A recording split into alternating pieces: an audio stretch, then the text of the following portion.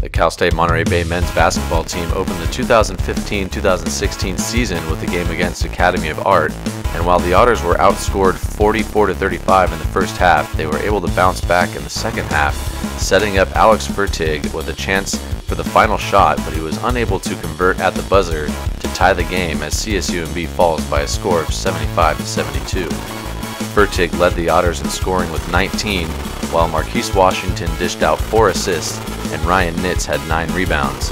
Nitz also had 14 points and Evan Zeller chipped in with 11. Jace Harrison led the Urban Knights with 19 points as well.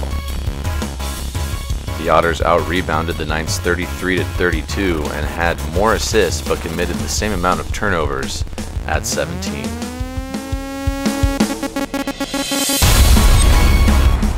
Here's what head coach Rob Bishop had to say about the game. The Otters will play Dominican University tomorrow night at 7:30.